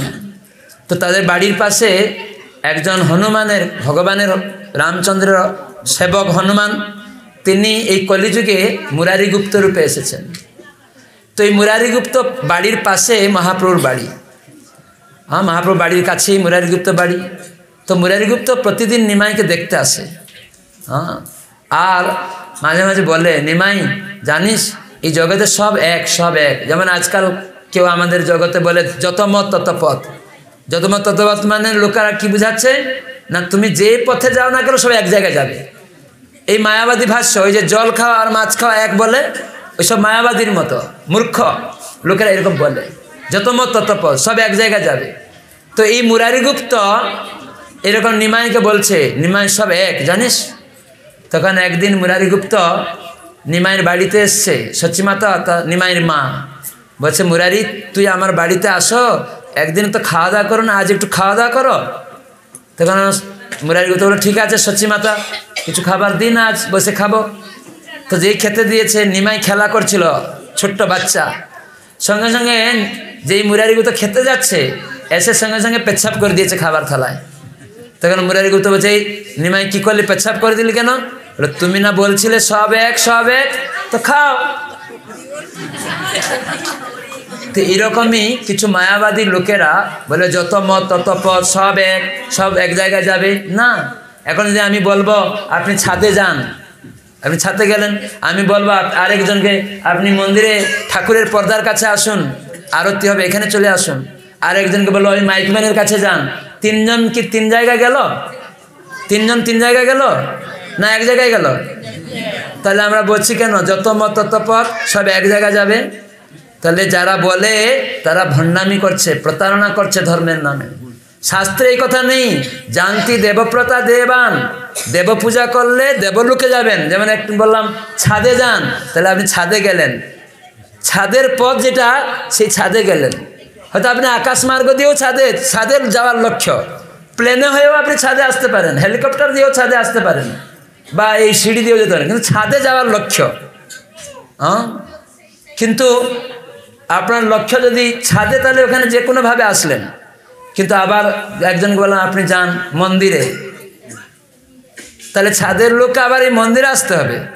তো এক জায়গায় হচ্ছে না সব কিছু হ্যাঁ? তো সেজন্য আমাদের এগুলো মূর্খামি না করে ভগবান নিজে গীতায় বললেন, জানতি দেবব্রতা দেবান। তুমি দেব পূজা করলে দেবলোকে যাবে। তো দেবলোকটা অনিত্য। যারা অল্প বুদ্ধির লোক, তারা দেবতা পূজা করবে। যিনি সৃষ্টিকর্তা, তিনি বলছেন হ্যাঁ যারা ধনং, জনং, সুন্দরী কামনা করবে, কামনা যারা ইন্দ্রিয় চরিতার্থ করতে চায়, তারা অবশ্যই অসুর। তারা কেবল দেবদেবী পূজা করবে। এই জন্য দেখবেন বড় বড় গুম্পালা সব অসুররা হ্যাঁ দেবতা পূজা করে। কালী কাদের নিয়ে হাতে ধরে আছে, মালা করে কাদের? সব বড় বড় অসুর। তারই সেবক গোপালা সব। তো এইসব অসুরদের কেন? না, অসুররা অনেক সময় উৎপাদ সৃষ্টি করে, তাই কালী বধ করে দেয়। হ্যাঁ? সংযত থাকে না, ইন্দ্রিয় সুখ বেড়ে যায় মাত্রা। কালি এসেছেন একটু মাত্রা লাইসেন্স দেওয়ার জন্য, কিন্তু লাইসেন্সের অতিরিক্ত করে ফেলে তখন কালি কতল। যেমন এক সময় জড়ভরত মহারাজ হ্যাঁ? যিনি ঋষভদেব ভগবানের পুত্র ছিলেন, তিনি তার জীবনকে দুইবার হারিয়েছিলেন। হ্যাঁ একবার তপস্যা করতে গিয়ে রাজপথ ত্যাগ করে ভরত, যার নাম অনুসারে ভারতবর্ষ। তো ভরত মহারাজ গণ্ডকী নদীর কূলে তপস্যা করতে গিয়ে হরিণের বাচ্চা, গর্ভবতী মা, আর কি হরিণ গর্ভে আছে বাচ্চা, তো সেই মা বাঘের গর্জন শুনে জল খাচ্ছিল। তখন ভয়ে লাভ দিয়েছিল। তখন প্রসব হয়ে গেছিল। বাচ্চাটা ছটপট করছে আর মাটা মারা গেছে। তো ওইখানে ভরত মহারাজ তাকে উদ্ধার করেছিলেন। বাচ্চাটাকে, মা তো মারা গেছিল, আর সেটাকে নেননি। বলে, ও বাচ্চা হরিণ, দেখতে হবে। তপস্যা করতে গিয়েছেন। কর্মকাণ্ডে আসক্ত হয়ে পড়লেন। না না, একে না দেখলে আঁকে দেখবে। গিয়ে বনে আবার আশ্রমে রাখলেন। তপস্যা করবেন কি? ওই হরিণ কি খাচ্ছে? কোথায় চলে গেল? এসব হরিণ, হরিণী হরিণী চিন্তা করতে করতে তপস্যা শেষ। কর্মকাণ্ডের লোক এইরকমই। আমরা কেউ রক্ষাকর্তা নই। হ্যাঁ? তো সেখানে আমি যে উদ্দেশ্য গিয়েছি, সেই উদ্দেশ্যকে পূর্ণ করতে হবে। সেটাকে না করে যদি যত মত তত পর দিকে মন চলে যায়, তাহলে এরকম বিভ্রান্ত। তো ভরত মহারাজ কি হয়ে গেল? ওই বিভ্রান্ত। তখন হরিণী কী খাবে, হরিণ কী খাবে? দেহত্যাগ হয়ে গেল। তখন হরিণ চিন্তা করার ফলে আবার হরিণ দেহতে মায়ের হরিণ মায়ের গর্বে হরিণী হয়ে জন্মাতে হলো। তখন যেহেতু হরিভজন করছিলেন তখন জাতিস্মর রূপে ভগবান তাকে আবার কৃপা করলেন। স্মরণ করলেন ও তুমি ভুল করলে। তখন চিন্তা এসে গেল। তখন হরিণ দেহ পেয়েও মুনিদের আশ্রমের কাছে চলে গেলেন। সেখানে গিয়ে হরিনাম শুনছেন। সেখানে তারা যখন খেতে দেয়, সেগুলি খেতেন। তখন আবার ভগবানের চিন্তা করতে করতে আবার দেহত্যাগ হলো। ব্রাহ্মণ পরিবারে জন্ম হলেন। তখন জড়ভরত মহারাজ। তো এই জড়ভরত তিনি ভাবলেন, আমি দুটা দেহ ত্যাগ করেছি। এই জীবনে আর স্কুল, কলেজে এই সব কিছু করব না। বাবা বলছে, পড়াশোনা করো, ব্রাহ্মণ ছেলে। বলছে, না না, মূর্খের মতো থাকছে, কথা বলবে না। হ্যাঁ এরকম থাকছে, জড়বৎ। হ্যাঁ তাকে বাবা দেখল যে পড়াশোনা করছে না, জমি, ফসল জগালি রেখে দাও। তো এক সময় কিছু দস্যু ছিল। হ্যাঁ একটা দস্যু সর্দার, ও রক্ষাকালী পূজা করে। তো ওরা নরবলি দেওয়ার জন্য এটা মানত করেছে। একশো এক নরবলি দিবে। তখন একশোটা বলি দেওয়া হয়ে গেছে। তার সব অনুচররা নিয়ে আসে। তো একদিন একটা লোককে নিয়ে এসেছিল, রাত্রিবেলা পালিয়ে গেছে কি করে? তখন আরে একটা বলি পাওয়া গেল না। তখন সেই দস্যু সর্দার, তার অন্যান্য দস্যুদের বলেছে, যাও, খুঁজো, একটা মানুষ খুঁজে নিয়ে আসো। এরা খুঁজতে খুঁজতে দেখছে ওই জড়ভরত ধান বাগানে বসে আছে, জমি জগে বসে আছে। তোমরা এই চল, ওর কোনো নির্বিকার। দেহাত্ম বুদ্ধি নেই। চলো, চলছে। তা আস্তে আস্তে কোথায় নিয়ে গেছে? ওই রক্ষা কালীর কাছে। বলি দিবে। তখন ব্রাহ্মণ মহাশিবানীকে পূজা, স্নান করাও সব কিছু বস্ত্র পরাও, সব করছে। তারপরে সেখানে কালীর সামনে বলি দিবে, সেই কাঠের কাছে নিয়ে রাখা হয়েছে। হ্যাঁ? উনি সবসময় নির্বিকার। দেহ জ্ঞান নাই। তিনি আত্মজ্ঞানে বিভোর। কৃষ্ণ হ্যাঁ? তার নামই করছেন। অন্য যে কাটছে বা কি করছে এইসব চিন্তার মধ্যে নেই উনি। দেহ জড় বুদ্ধিতে নেই। তিনি সবসময় ভগবানের নামে ব্যস্ত। তো যেই খড়গ নিয়ে কাটার জন্য চেষ্টা করছে, সঙ্গে সঙ্গে রক্ষাকালী ফেটে গর্জন করতে করতে ওই খড়গ নিয়ে তার সমস্ত দস্যুদেরকে, একদম কতল সবাইকে কেটে ফেলছে। তো কালী তিনি সীমা হারিয়ে গেলে, তো যেহেতু তিনি তমগুণের অধিষ্ঠাত্রী তাই যারা তমগুণে মানুষ আচ্ছন্ন হয়ে পড়েছে, তাই যতটুকু নিয়ম লাইসেন্স দেওয়া হলো, ততটুকু ব্যবহার করতে পারবেন। যেই অতিরিক্ত করবেন, কালী নিজেই এই বৈষ্ণব অপরাধ করছে। আমার প্রভুর ভক্তকে তুই কাটতে গেছিস? হ্যাঁ দুষ্ট বুদ্ধি? সঙ্গে সঙ্গে কতল সবাইকে কেটে ফেলেছে। তো এইরকমভাবে আমরা জানি না, দেবতারা তারা এক একটা নিয়ম লাইসেন্সকে দেখার জন্য দেওয়া হয়েছে। ইন্দ্রদেব বৃষ্টি দিবেন অগ্নিদেব আগুন দিবেন। কিন্তু ভগবান তাদেরকে নিযুক্ত করেছেন। কিন্তু তার যদি আমরা অতিরিক্ত কিছু করব, যেমন ইলেকট্রিক লাইন আপনি যদি যতটুকু আপনার মিটার তার থেকে আপনি বেশি নেবেন, একদিন সরকার জেনে ফেলবে ট্রান্সফর্মার বাস্ট হয়ে যাচ্ছে কেন? এই ব্যাটারা চুরি করেছে। তো সঙ্গে সঙ্গে আপনার লাইন কেটে দিবে আর জেলে পুড়িয়ে দিবে। হ্যাঁ কি না? ওই ডিপার্টমেন্টের লোকেরা আসে ঠিক সেই রকম দেবতারা মাঝে মাঝে রেগে যাচ্ছে, সুনামি, আইলা, মহাসাইক্লোন, এই সমস্ত গুরুদেব বুঝিয়ে দেন, না, দেবতারা সন্তুষ্ট হবে যখন ভগবানের আরাধনা হবে। কেন? আমরা ভগবানের অংশ। তাই সদ্গুরু এই সমস্ত শিখাবে হ্যাঁ সদ্গুরু দেবী শিষ্য সন্তাপহারক। কেন? দেবী দেবী পূজা করলে অনিত্য জিনিস পাবে। একজন দেবতা হয়তো জল দিবে, আর একজন দেবতা আগুন দিবে। কিন্তু তেত্রিশ কোটি দেবতা আছে, কয়জন দেবতার পূজা করবে তুমি? সেই জন্য কৃষ্ণ হচ্ছেন মূল আশ্রয়। যেমন পেট, পেটকে খেতে দাও। আমরা কি খাবার হাতে, পায়ে, চোখে, নাকে, মুখে দেই? মূর্খরা দিবে। বলে যত মত তত সব সব জায়গায় দাও। ওটা গাধা। জানে না। তো সেজন্য আমাদের পেটে খেতে দিতে হবে। তাহলে এই চোখ কাজ করবে, হাত কাজ করবে। তাই সদ্গুরু শিখাবে যে ভগবানের চরণে আত্মসমর্পণ করো, তার সেবা করো জসমিন তুষ্টে জগৎ তুষ্ট। তাকে তুষ্ট করলে এই সবাই দেবতারা দিবে। যেমন ইলেকট্রিক বিলটা গভর্নমেন্টের অফিসে খাতায় জমা দিয়ে এলে ইলেকট্রিক ডিপার্টমেন্ট ঘুষ দিতে হবে না। ডিপার্টমেন্টের যে চাকরি করে লেবারগুলি ইলেকট্রিক খুঁটি দিচ্ছে লাইন দিচ্ছে, তাদের ঘুষ দিতে হবে না। আপনি যদি তা বিল না দিয়ে তাদেরকে ঘুষ দিয়ে রাখেন, একদিন পরে বিল যায়নি, তখন ওই গভর্নমেন্ট লোক, ওই ডিপার্টমেন্টের লোকদের দিয়ে আপনার লাইনটা কেটে দিয়ে যাবে। ঠিক সেরকম ভগবান দেবতাদের দ্বারা সব দিচ্ছেন? আপনি যখন আইন, বেআইনি রূপে চলছেন, সেই দেবতাদের দিয়ে সুনামি, আইলা, মহাসাইক্লোন, হুদহুদ, কত কিছু, বুলবুল সব পাঠিয়ে দেবেন তখন শাস্তি পেতে তো সেই জন্য আমার অনুরোধ যে কেবল আমরা শুনলাম ভগবানের বিভিন্ন অংশ, তাই আমাদের কর্তব্য হচ্ছে ভগবানের সেবা করা। তো শ্রী চৈতন্য মহাপ্রভু রূপে কৃষ্ণ এলেন। তাই তিনি কি শিখালেন? প্রভুর সেবা কি করে হবে? হরে কৃষ্ণ হরে কৃষ্ণ কৃষ্ণ কৃষ্ণ, হরে হরে হরে রাম হরে রাম রাম রাম, হরে হরে। এই কলিযুগে যুগধর্ম ভগবানের নাম। তাই সদ্গুরু এই নাম শিখাবে। এটি কলিযুগের সমস্ত দুঃখ, সমস্ত খারাপ জিনিস থেকে মুক্ত হতে গেলে ভাগবতে বলা হয়েছে, কলের দূষণ নিধিরাজন অস্তি এক মহান গুণ। কীর্তনা দেবকৃষ্ণস্য মুক্ত সঙ্গ পরম ব্রজ। গুরু কি করবে? না, এই ভাগবতের শিক্ষাটাকে নিজে আচরণ করবে। ও, এই কলিযুগের সব দোষ থেকে মুক্ত হতে হবে? কৃষ্ণ নাম করতে হবে। তাই নিজে করবে। শিষ্যকে বলে, তুমি কৃষ্ণ নাম করো। তোমার যে অনেক দোষ আছে অনাদিকাল থেকে, একদিন আস্তে আস্তে সেগুলা থেকে তুমি মুক্ত হবে। এরকম, না না না, তোমার যা ইচ্ছা তাই করো, আমার পাওনা পাঠিয়ে দাও। এ হচ্ছে ভণ্ড গুরুদের চিন্তাধারা। সেজন্য বলি মহারাজ, যখন যজ্ঞ করছিলেন দেখে বলি মহারাজ, তখন বামন দেব রূপে কৃষ্ণ গিয়েছেন। হ্যাঁ ভগবান কৃষ্ণ বামন দেব রূপে গিয়েছেন। ভিক্ষাম দেহি, ভবতু ভিক্ষাম দেহি। যে তিনবার বলেছেন, বলি মহারাজ যজ্ঞ করছিলেন। বলিমারা স্বর্গ, মর্ত, পাতালের একছত্র সম্রাট। তার মানে দেখুন বলিমারা দেবতাদের পদ নিয়ে নিয়েছেন। মানে ইন্দ্রের রাজত্ব উনি করছেন, ইন্দ্রকে বিতাড়িত করে দিয়েছেন। দেবতারা সব বাহিরে, লুকিয়ে লুকিয়ে ভরি বেড়াচ্ছে। হ্যাঁ গোপন ছদ্মবেশে। সেখানে বলিমারা সারা ত্রিজগতের স্বর্গমত্ত পাতালকে দখল করে নিয়েছেন। দেবতাদেরকে তাড়িয়ে, যুদ্ধে পরাস্ত করে। আর এই বলি মহারাজ খুব জানি, আবার ভক্তও কিন্তু তার গুরুদেব অসুর।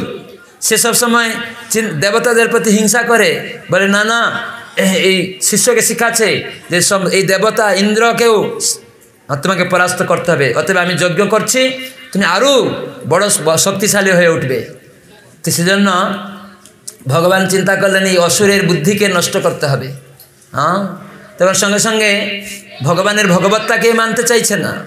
তখন কি করলেন? তিনি আসলেন। ভগবান সবসময় দেবতাদেরকে সুরক্ষা দেন। তখন এসেছেন বামন দেব রূপে। তখন বললেন, ভিক্ষাম দেই যে বলি মহারাজ উঠে যাচ্ছে। তখন শুক্রাচার্য গুরুদেব, এই বলি কোথায় যাচ্ছ? না ভিক্ষুকে এসছে, ভিক্ষা দিতে হবে। বলে, না ভিক্ষা দেওয়া চলবে না। কেন? বলি মহারাজের গুরু শুক্রাচার্য তখন ধ্যান করে দেখছে যে স্বয়ং বিষ্ণু বামনদেব রূপে এসেছেন। বলে স্বয়ং ভগবান বিষ্ণু এসছে, তাকে ভিক্ষা দিও না। কেন? আপনি তো বলেন যে বিষ্ণু সব কিছু তাহলে বিষ্ণুর জিনিস বিষ্ণুকে দিব। না না, কখনো দিবে না, তোমার সব নিয়ে নেবে। সব নিয়ে নিক, তার জিনিস তিনি নেবেন। গুরুদেব আরও বাধা দিচ্ছে, না, তুমি জানো না। কেন শুক্রাচার্য বাধা দিচ্ছিল? শুক্রাচার্য বলি মহারাজের উপরে তার সম্পত্তি নিয়ে নিজের পরিবার প্রতিপোষণ করে। এই জন্য তার নাম শুক্রাচার্য। শুক্র এই দেহের প্রতিপোষণ, দেহটা কি? শুক্র দিয়ে তৈরি। তো এই দেহের প্রতিপোষণে আসক্ত। তার আচার্য হয়ে গেছেন। তাই দেহতেই সব। দেহ সুখ করো, দেহতে ভোগ করো। যে গুরু শিখায়, সে হচ্ছে অসুর গুরু। তাই শুক্রাচার্য তাই বলি মহারাজ, বুঝতে পারলেন আরে, এ তো আমাকে প্রতারণা করছে। ভগবান নিজে এসছেন। না, আমি দিব। চলে গেছে। তো এইরকমভাবে গুরু ত্যাগ। গুরু ত্যাগ করতে নেই। এইরকম অসৎ গুরু শুক্রাচার্যের মতো যে গুরু বিষ্ণু সেবা, ভগবানের সেবাতে বন্ধ করে দেয়, যে পিতা মাতা বন্ধ করে দেয় হ্যাঁ যে ভগবানের সেবা করতে হবে না, আমার সেবা করো। দেশের সেবা করো। সে পিতা পিতা নয়, সে মাতা মাতা নয় সেই গুরু গুরু নয় সেই স্বামী স্বামী নয়, যে কৃষ্ণ সেবা শিখায় না। হ্যাঁ? তো সেজন্য ভাগবতে ঋষভদেব এইসব শিক্ষা দিয়েছে। সত্যাবেশ অবতারে তিনি এলেন এবং গৃহস্থ লীলা আবিষ্কার করলেন। একশো পুত্র উৎপন্ন করলেন, সবাইকে বসে শিখাচ্ছেন। তাই পিতামাতার কর্তব্য, পুত্রকন্যাকে ভগবত ধর্ম শিখাবে, কৃষ্ণ সেবা শিখাবে তো সেই কৃষ্ণ সেবার প্রথম শিক্ষা হচ্ছে হরে কৃষ্ণ হরে কৃষ্ণ কৃষ্ণ কৃষ্ণ, হরে হরে হরে রাম হরে রাম রাম রাম, হরে হরে। এটা আগে শিখাতে হবে, নিজে করবে, অন্যকে শিখাবে। কেন? ভগবান নাম অবতার, এই কলিযুগের যুগধর্ম, কলিযুগের আইন। হ্যাঁ আর কি শিখাবে? গীতা ভাগবত হচ্ছে ম্যানুয়াল বুক গুরুদেব নিজে আচরণ করবে, আর শিষ্যকে বলে দৈনিক নিত্য ভাগবত সেবা। ভাগবত বলছে, তাই সপ্তাহে সোমবার থেকে রবিবার ডেলি সাত দিন আসে, তাই সারাটা জীবন যতদিন সাত দিন আসবে, তোমার জীবনে সানডে টু স্যাটারডে তো এইরকমভাবে তুমি প্রতিদিন গীতা ভাগবত পড়বে। কেন? না, এটা ম্যানুয়াল বুক এই যন্ত্রের অপারেটিং করার ম্যানুয়াল বুক তোমার একটা মোবাইল ম্যানুয়াল বুক দেয়, গাড়ির ম্যানুয়াল বুক দেয়। গাড়িটা কি করে চালাতে হবে? পেট্রোল গাড়ি লেখা আছে, পেট্রোল। ম্যানুয়াল বুক পড়লেন। কোম্পানির লোক বলল, কিন্তু আপনি বললেন পেট্রোলের দাম বেশি? থাক, ম্যানুয়াল বুক লেখা থাক, কোম্পানির লোক যাই বলছে বলুক, আমি জল দিয়ে চালাবো গাড়িটা। তাকে মূর্খ বলবেন? তাহলে ম্যানুয়াল বুকটা কোম্পানি মালিক বলল কেন? তাই গুরু কোম্পানির লোক। আর ম্যানুয়াল বুক ভগবান দিয়ে দিয়েছেন, নিজে কোম্পানি তৈরি করে। শিখিয়ে দিয়েছেন গুরুকে। বলো এটা, তাই গুরু এইরকমই। তাই গীতা ভাগবত পড়ে কর্তব্য কর্তব্য শিখাবে। সেই জন্য নিত্যং ভাগবত সেবয়া। তাই ছেলে মেয়েকে নিয়ে গীতা ভাগবত শুনতে হবে দশ বিশ মিনিট। হরিনাম দশ বিশ মিনিট তুলসীর সামনে। আর রন্ধন করে, ভগবান ভুক্ত আমরা জানলাম, শাক সবজি তার। তাই রন্ধন করে তাকে নিবেদন করুন। আজকে এখানে বৈষ্ণব সেবা হচ্ছে।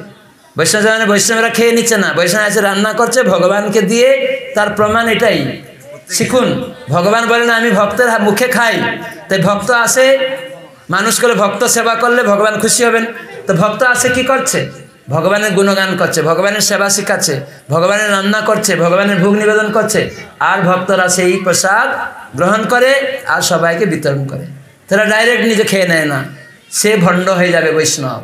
সেই সাধু অভক্ত ভগবানে, যারা নিজে নিজে রান্না করে খেয়ে নেবে।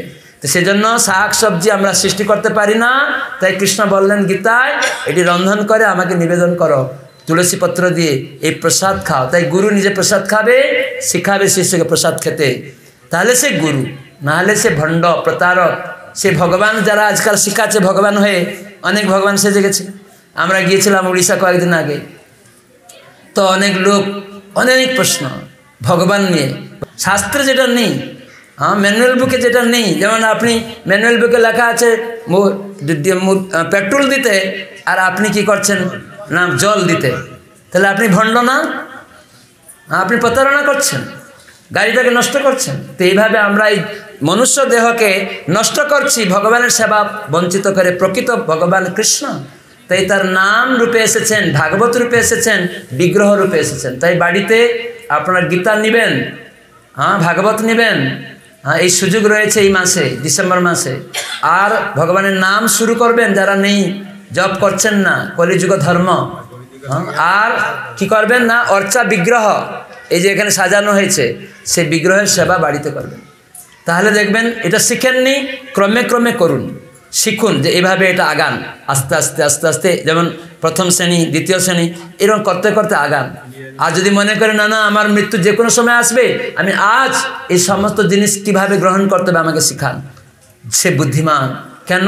না, ছোটবেলার শরীরটা এখন নেই। এনি টাইম আমার হুচট খেয়ে অ্যাক্সিডেন্ট হয়ে দেহ ত্যাগ হয়ে যেতে পারে। আজ আমি শুভ জিনিস, যেমন শিব বললেন যে যে ক্ষণটা আমি হরিনাম করি না, সেটা অশুভ। যে দিনটা আমি ভাগবত শুনি না, সেই দিনটা দুর্দিন। তাহলে আমার দিনটা সবসময় অশুভ আমার সময়টা? আমি ভগবানের নাম করি না? তাহলে আমি অশুভ হলে, তাহলে অশুভ গতি হবে।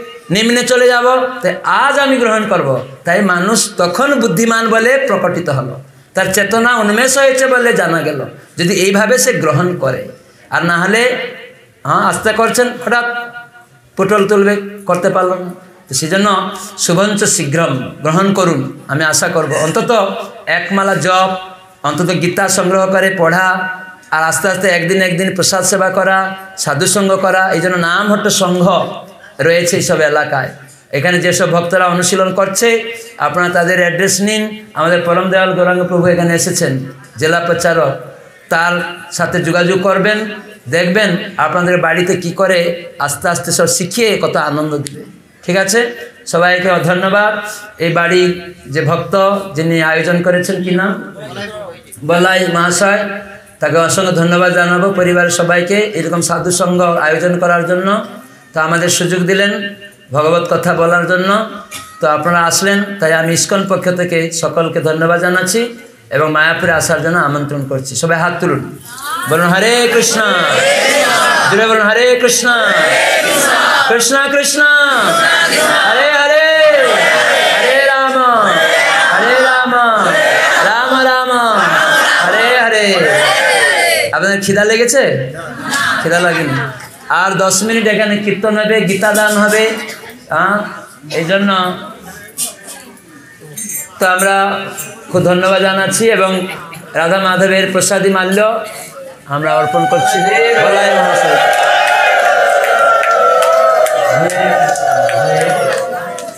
জয় শ্রী শ্রীমদ ভক্তিবিলাস গৌরচন্দ্র স্বামী মহারাজ। কি জয় জয় গুরু শিল প্রভুপাদ কি জয়। धन्यवाद महाराजा सुंदर।